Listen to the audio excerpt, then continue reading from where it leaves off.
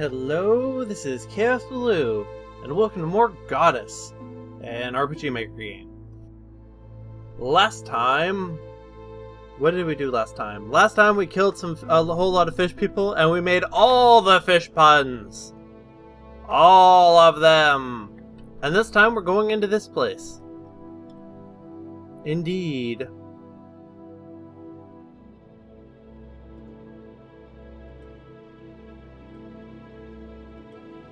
First of all, what she said. Second of all, okay, okay, valid point. Look, the point is they're coming.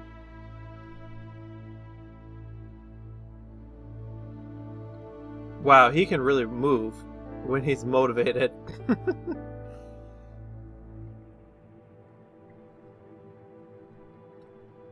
I am no mere peasant. Unless I am? I don't know. I guess it depends on the definition.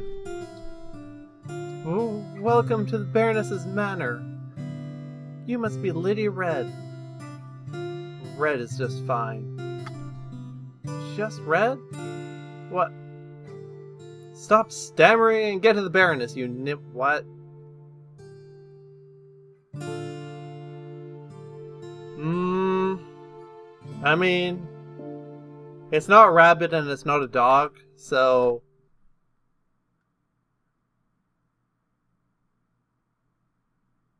She stood there, at the top of the stairs. I feel I should explain something first. It is important you realize who I was at this point in my life, the kind of person I was. I was a mountain woman, a girl who lived in the woods and hunted and trapped animals as a lifestyle, comfortable enough in town, but still wary of civilization and all its trappings. I preface this part of the story with a, this warning because of the confession that follows. Um,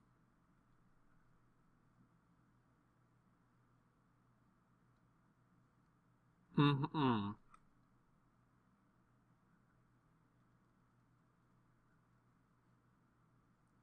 When I saw her there, standing there, in all her vain beauty, I was taken aback.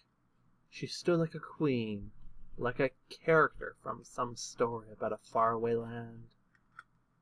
I had never seen a dress such as that one she wore, and I had never seen jewels that adorn her. What? Seeing jewels such as those that adorn her. That's. That needs a spell check. Um. Or grammar check, rather. I had never known a human could be made up like she was at that moment in time. And then she moved, making her way down the staircase, step by step. Her body moved like a tall glass of red wine. I had never seen a woman with such... What? What? Uh... I know I said this, like, back in episode 2 or 3, but I really am going to need to make this... or limit this to mature users, aren't I? That's such a pain.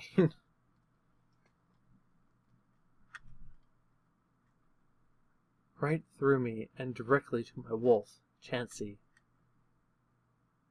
What is that? Uh, what? What an amazing, handsome boy you are. Yes, you are. Uh,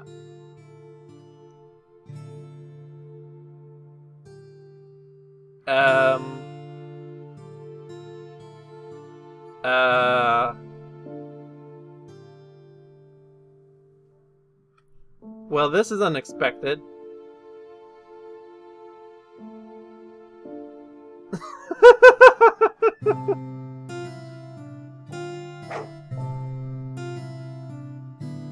I've never seen Chansey act like that around anyone before. Not even me. Oh, there are people here. Who are you? I'm Red, the town champion. I'm here for the dinner, remember? What? Oh yes, dinner with the town folk and all that. My word, you're a big girl, aren't you? What is that thing behind you? That's Hilda Isinglass, my associate. We work together. Ah, your servant. Of course, I understand. I mean, honestly, she's not wrong.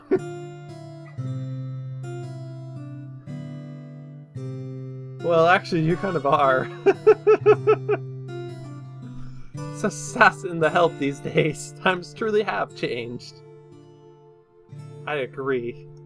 My lady, the agreement was for a one-on-one dinner. This is... What are you blathering on about again? Oh, oh yes. By the way, this is obviously a wolf, not a dog, you dimwit. I apologize, my lady. What's his name? I adore animals, you know. I used to... I used to ringlead in a circus? I'm sorry, what? Um... Well, that seems perfectly reasonable. I was quite good at it. Cracking the whip at 16 years old, those were the good old days. But enough of this talk in the this drafty entryway. I'm famous. Let's talk about animals, and more about eating them. To the dining room.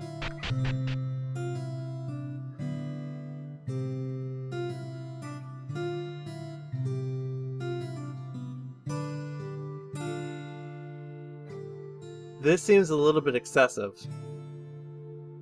Um. Oh, wow. Yeah. Yes, a bit small, I know. But out here in the freelands, there's not many opportunities for hosting parties anyway.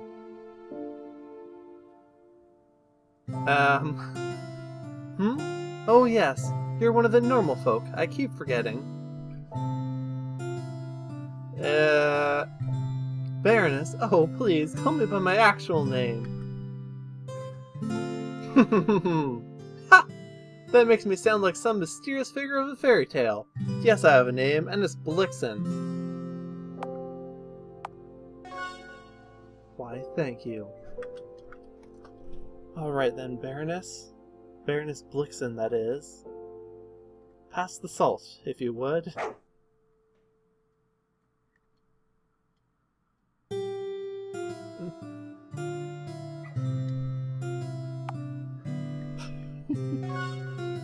Indeed I am, trained and schooled at the best academies of Crail. And oh, I'm sorry, but I can't help but notice that your silent companion here seems a bit uncomfortable.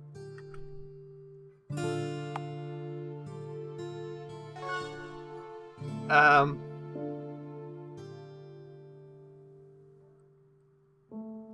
Hmm... Now that she mentions it, Oh yes, the help. You can never have too much of that, am I right? Um... I don't know. Like, honestly, if she's paying them... Although, I guess it depends what she's paying them with. And how they're treated. I mean, the guards were sort of not great to some of the servants. But she seems to have been fine. Hmm.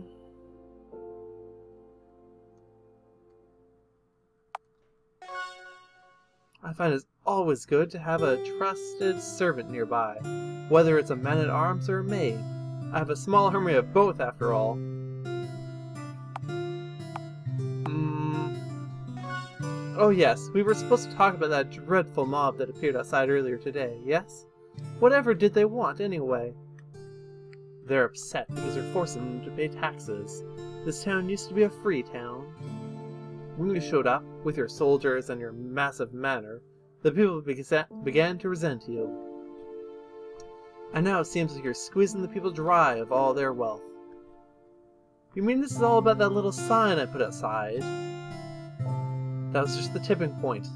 The people have had enough of you, and they want you out. Well, I'm afraid that's just out of the question. I care for this town too much to, to just up and leave.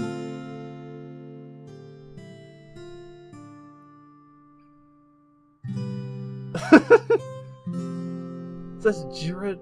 Um. What she means is that she doesn't understand how you could say that you love the town when you're robbing it of its wealth.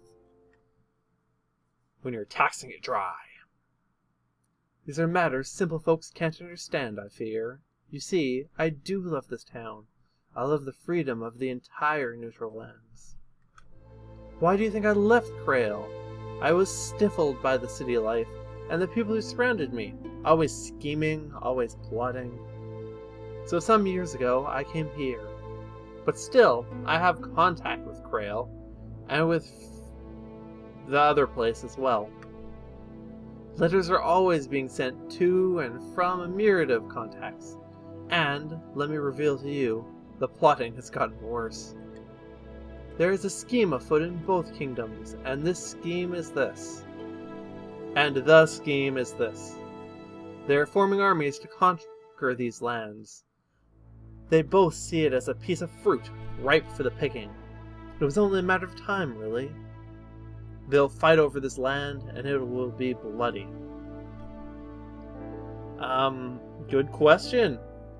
Only the nobility of both kingdoms, certainly not the common folk, and certainly not the people of Widdershins. But think, what lies in the very center of the neutral lands? Yes, this very town. And so, I hope you understand now, Red, that my collection of wealth is not for my own benefit. I am growing a, militia of my own to defend the, this people and the, their town. If they think the taxes are bad under my governments, then wait until they meet the accountants of Krail and Fathen. If what you say is true, then the people would understand if you just told them. You could even train them and arm them. I would they would gladly fight for their freedom. I think not. They mistrust me, and would never believe me. My method is the more certain way. Besides, an armed populace is a dangerous one. They already want my head. If I gave them weapons, they would have it that much easier. Um, I don't really agree with her, but this is actually tough. Because, like, I can see the logic in her point of view, but I don't really agree with her stance. Mm.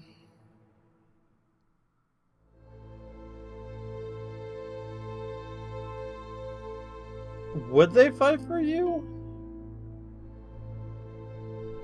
Mm, some of them would. But other, hmm. Well, how naive you are, child. They would view it all as a scheme and rebel, storming the manor. But whatever the case, you can't keep going as you have. If things continue like they are, the people will rebel anyway. What would you have me do? Abandon the town? No. Deal with the people, face to face. Meet them tomorrow morning, rescind the most recent tax increase, and promise to put a ceiling on it. And then try to explain to them the situation, the threat of invasion by two warring kingdoms. I'm not saying you have to arm them, but at least try to convince some of them to be more cooperative. Hmm. Well, I'll think about it. I must say, for a mere peasant, you certainly have some semblance of wisdom. Oh, look, my wine glass has run empty. Ahem, my wine glass is empty! Uh...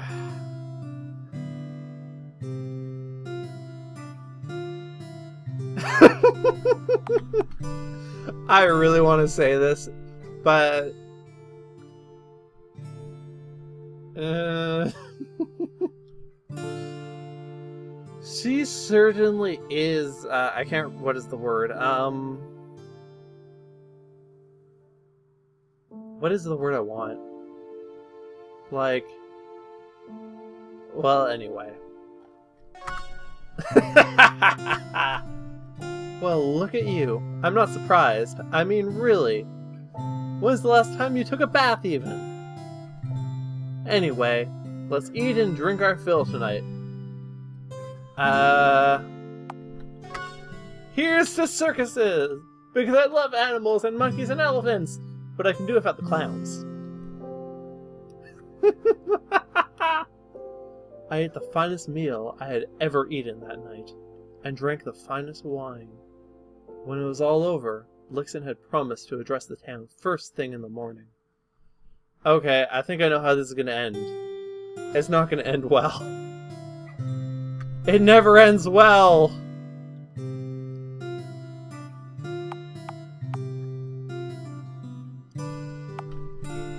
Ah, the food and wine were excellent, and I'm glad we could see reasonableness together. I hope this helps to solve the town's problems. Good night, Baroness Blixen.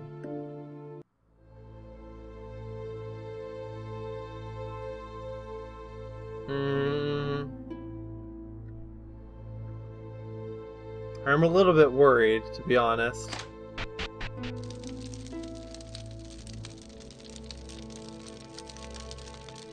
Looks like Mofat's asleep. How do you think tonight went anyway?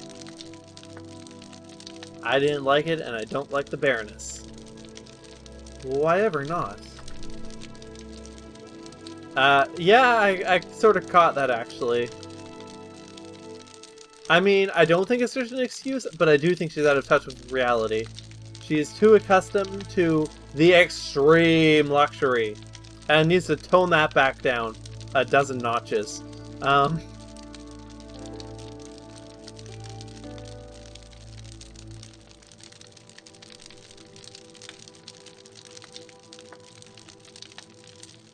Mm. Indeed.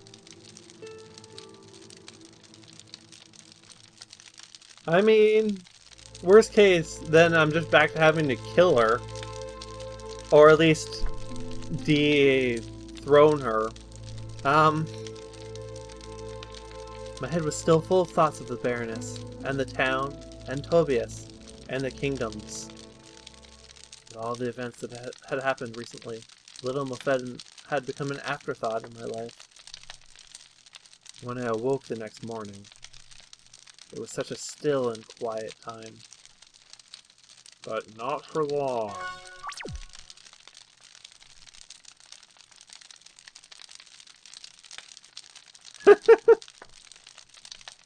Wait. Where's the cripple? I mean, Mofet. I guess it's derog- actually it's, it's sort of derogatory to refer to her like that. So I retract that and apologize. Um, yeah.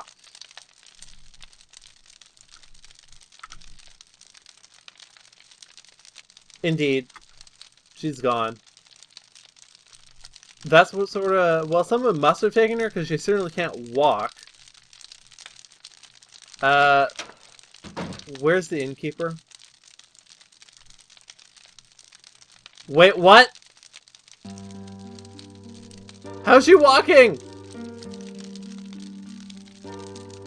How is she walking? There's no way she could be walking now. It is, like, just not possible.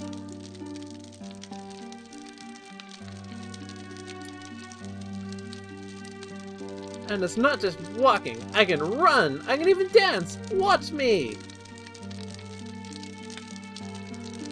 She, even before she had her legs broke, she couldn't move that fast.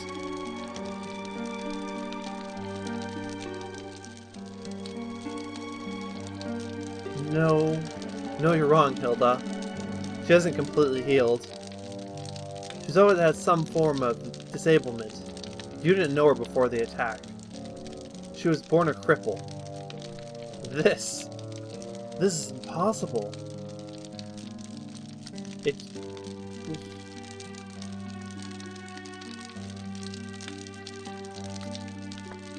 Um...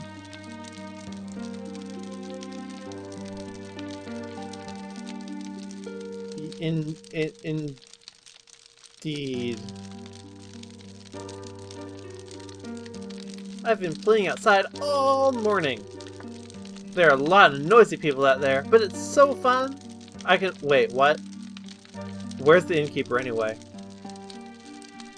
Uh... Oh, I had a bad feeling like this. Die, you pig! Uh, and I saw Tobias. Looks like it. Well, I'm gonna guess that Tobias' shipment was some form of weaponry.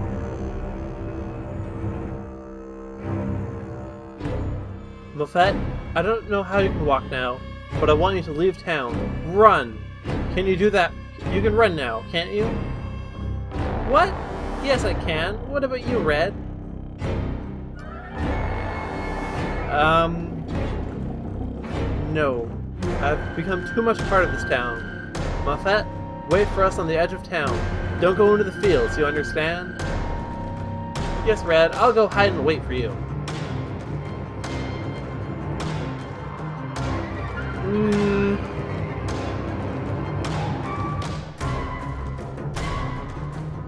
Why does this keep happening?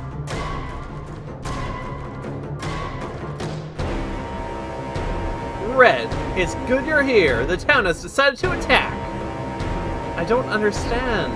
I was negotiating with the Baroness. She was going to ease up. It's too late. I wish I could have warned you, but after the weapons were distributed, they formed a mob immediately. They rose with the sun, and now it's too late to turn back. The dam has broken, and this town will flood over the manor. Yeah. It, yeah. This rebellion could only have happened because of you, Red. Uh... Mm.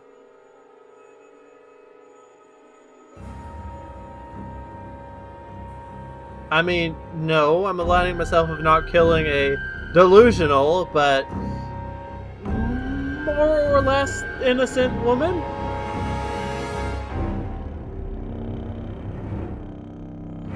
So be it, Red. We part ways here. I mean, let them turn on me. They will not stand. They stand no chance.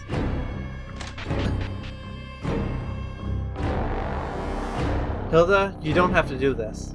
I know you don't like the Baroness. This is my fight, and you can turn back now if you want.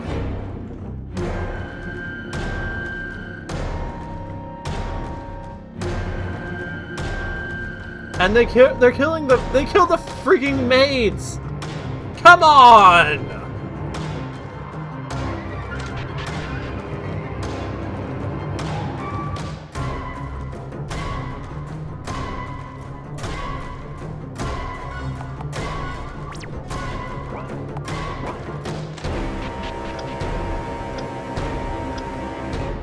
Okay, I don't like the ticking noise at all, even if it's just a clock.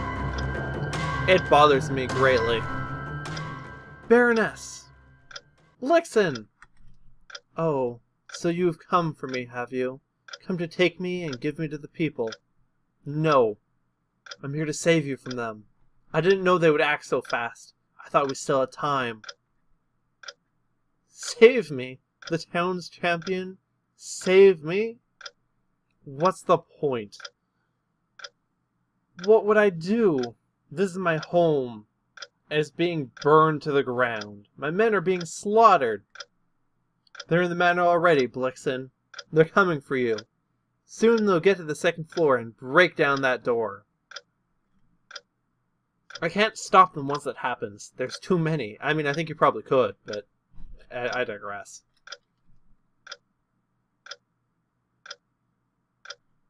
My head on a spike? I think not. I'll be leaving a beautiful corpse behind when I die, not some gory mess. But how do we escape? Are you daft? We're on the second floor! I think we can make the jump. Besides, there's a moat down there. We can land in the water. That's where the sewage flows out. Uh, indeed.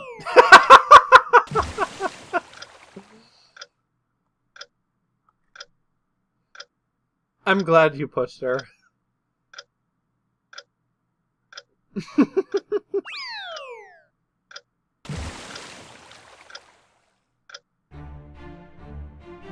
we all made it, soaked through and through, and managed to run away as the manor burnt to the ground behind us.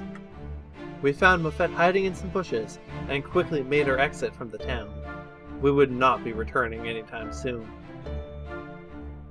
On the run again. I can't believe it. I can. Hmm.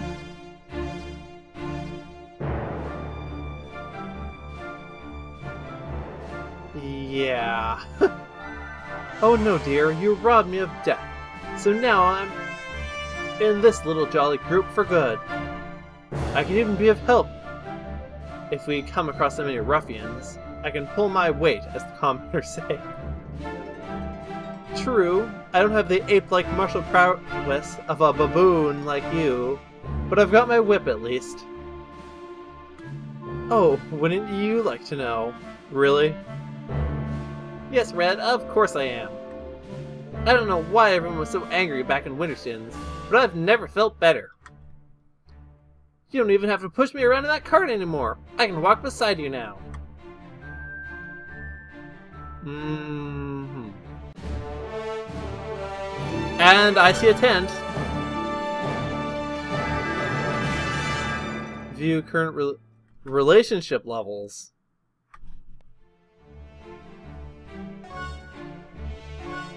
it seems like an odd time for, for me to get this now. And also I can only use it on Hilda. Uh, Chansey is maxed out. The dog likes us. Hilda, not so much. Also, same for Blixen. Okay, so equipment-wise, you've got not a whole lot. Um, Skill-wise... Mm, well, you can heal yourself quite effectively if, if somewhat unreliably. I wonder if I can give booze to... I can! Or so it says. I so I'm somewhat suspecting... Oh no, it's still on her. Uh, Hilda again.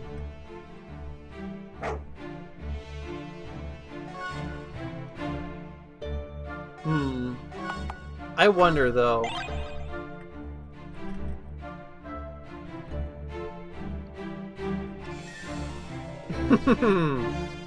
I've already read this, so I'm going through it quickly, but I'm curious if that'll have an effect on... Nope.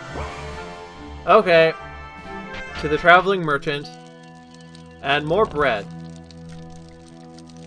Egads! It's Red and her strange companions once more! Indeed. And what are you, some form of panhandler? Absolutely delightful! While you're here, you're always welcome to stay in the night, or even have a look at my wares! Do I have anything to sell? I do not. I do have this thing, though, still. I'm not really sure what to do with it. Um, I have a better bow. I have one of those. Hmm.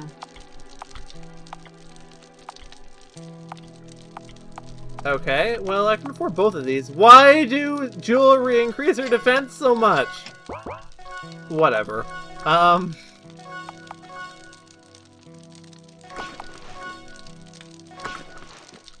Whoops. Uh, let, let's, let's, uh, whoops. Spoiler alert, I'm not playing in full screen mode.